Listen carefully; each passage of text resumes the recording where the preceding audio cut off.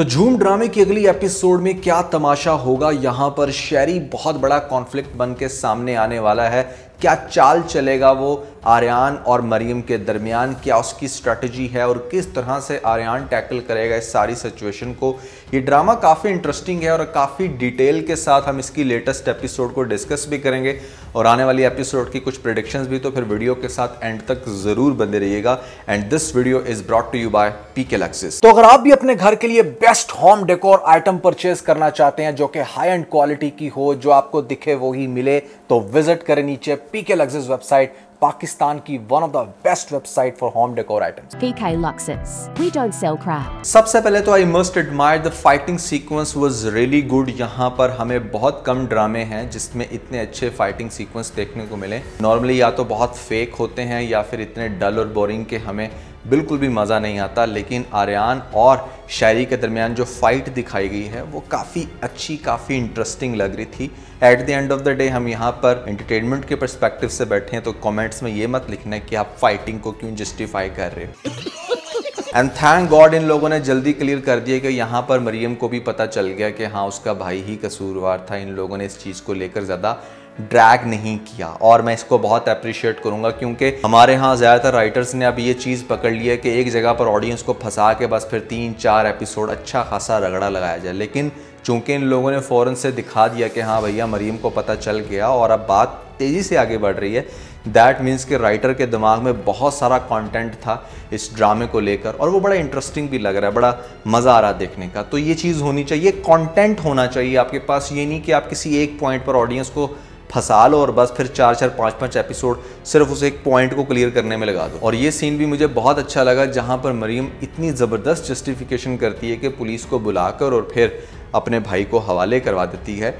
और ये चीज़ भी बहुत अच्छी लगी मुझे। मतलब ये ड्रामा बहुत ज़बरदस्त चल रहा है कि जहाँ पर आपने ये नहीं दिखाया कि अच्छा भाई आकर बहन के बहुत ही खिलाफ हो गया है और बस फिर वो पहले अपनी बहन के खिलाफ साजिश कर रहा है। अगर ऐसा कुछ दिखाते तो ये ड्रामा टॉक्सिक हो जाता। ये चीज़ भी नहीं।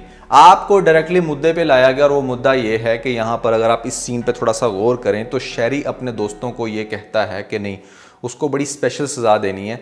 दोस्त कहते हैं, हम उसकी हड्डी पसली, ये कर देंगे, ये करते हैं, वो करते हैं, लेकिन वो कहता नहीं, मैं कोई ऐसी सज़ा देना चाहता हूँ जिसमें उसकी हड्डी पसली एक भी ना हो, मौत भी ना आए, लेकिन वो तड़पे, उसकी रूह कांपे। तो किसी भी इंसान की रूह कब कांपती है? जब आप उससे उसका प्यार छीनते हो। और ये चीज़ शहरी ने रियलाइज़ कर ली अपनी बहन की बातों से कि मेरी बहन जो है ना, वो फुली तौर पर इन है आर्यान के लव में, और कहीं ना कहीं आर्यान भी प्यार करता है तो ऑब्वियसली इतनी जल्दी रिश्ता लेकर आ गया ना। अदरवाइज़ कोई फ्लर्ट होता तो वो इसी तरह टाइम पास करता रहता। दैट वॉज़ द रीज़न कि उसने बहुत जल्दी आर्यन के ऊपर इस वजह से अटैक नहीं किया कि वो उसकी बहन को क्यों इतना ज़्यादा मिल रहा है? क्योंकि उसने स्टार्ट ही बहुत अच्छे स्टेप से लिया तो ये पॉइंट शहरी का क्लियर है। अब रह जाता है शहरी का बदला जो उसने स्टार्ट कर दिया लेटेस्ट एपिसोड में, जहाँ पर दिखाया जाता है पहला सीन के इतने रिस्पेक्टफुल मैनर के अंदर हमारा आर्यान अपने बाप को लेकर आया और यहाँ पर रिश्ते की बात स्टार्ट करते हैं तो साथ ही वो पुलिस की उस बात को कोट करता है, जो इसको पता चली कि हाँ ये कभी मेंटल हॉस्पिटल में रहा है।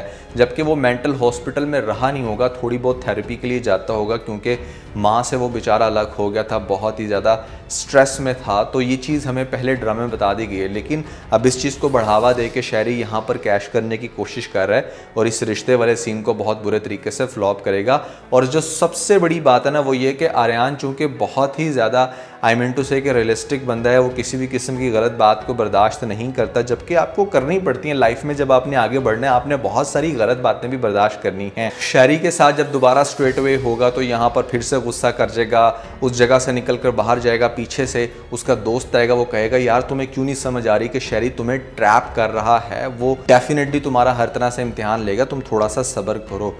और दूसरी तरफ़ इसको मरियम भी ये समझाने की कोशिश करेगी कि तुम थोड़ा सा अपने टेम्परामेंट पे कंट्रोल रखो, क्योंकि यही तो चीज़ मैं सबके सामने प्रूफ करना चाहती हूँ कि तुम्हारे अंदर टेम्परामेंट है। तो अब बड़ा ज़बरदस्त किस्म का इम्तिहान शुरू हो गया आर्यान का भी, क्योंकि उसने अपने गुस्से पर कंट्रोल करके शहरी की साजिश को समझना है। अपनी नेचर के इंगेज चलना ना बड़ा मुश्किल होता है, ये मैं बहुत अच्छे से समझ सकता हूँ। तो एकदम से इतना बड़ा अब्रप्ट चेंज अपने अंदर लाना और वो भी सामने उस बंदे की वजह से, जिसकी वजह से उसको पहले बहुत ज़्यादा गुस्सा रहा हो तो बड़ा डिफ़िकल्ट टास्क है। और दूसरी तरफ़ शहरी ने तो जानबूझ के टांग अड़ानी है। बस किसी भी तरह से बस इसका रिश्ता ना हो मेरी बहन के साथ। या अगर रिश्ता हो भी तो मैं पहले इसको अच्छी तरह जलील करूँ। वो टाइम टू टाइम अपनी बहन को खिलाफ करेगा आर्यान के और आर्यान इस चीज़ को बहुत जल्दी समझ चुका है, इसलिए वो नेक्स्ट एपिसोड में सीधा जाएगा क्लिनिक में जाके।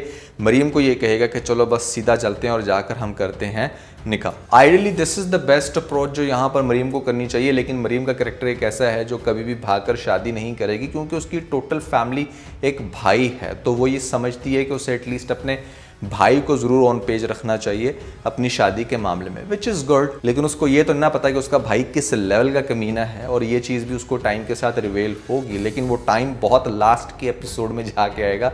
फ़िलहाल तो आपको हर तरह से शहरी को ही कामयाब होते हुए दिखाया जाएगा and all types of hate will definitely goes to Sheri in this drama so Maryam ने कर दिया भाग के शादी करने से इनकार अरियान की फिर से सेल्फ रिस्पेक्ट पे बात आ जाएगी, दोस्त उसको समझाएँगे।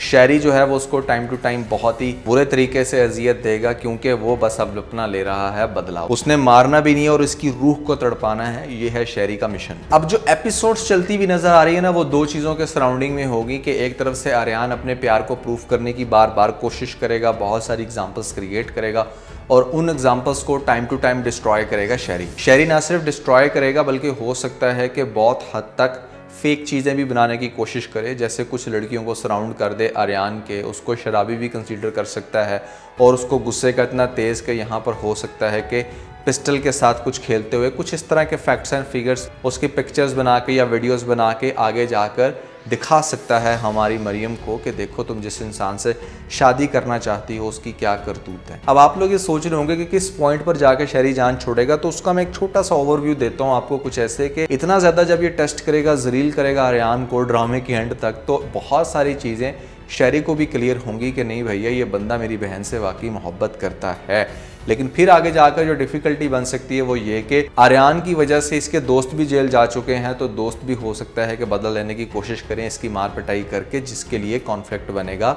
अगेन शहरी और इस तरह से शहरी फिर अपनी बहन को क्लियर करेगा कि हाँ भाई, तुम्हारा ये जो लवर है ना आर्यान, ये वाकई तुमसे बहुत प्यार करता है, जा सिमरन जाके जी अपनी ज़िंदगी।